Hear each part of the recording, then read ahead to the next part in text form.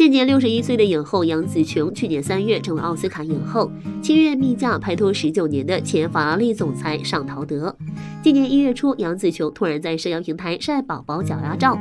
原来是她的继子 Nico s t o d d e 生下儿子 Maxim，与老公一同荣升爷爷奶奶。今日杨紫琼社交网又晒近孙照片，Maxim 还有专属的导演椅，照片中还可以看到 Maxim 活泼好动，而且眼睛超大，相当可爱。照片见杨紫琼孙子 Maxim 坐在。在专属导演椅上，身为奶奶的杨紫琼则在后面扶着仍未坐得稳的孙子，笑容甜美又亲切。另外一张照片则见杨紫琼继子推着婴儿车与太太一同散步，相信照片就是由杨紫琼亲自拍摄。杨紫琼此前参加节目时表示想做妈妈，因此去做了多次人工受孕，可惜。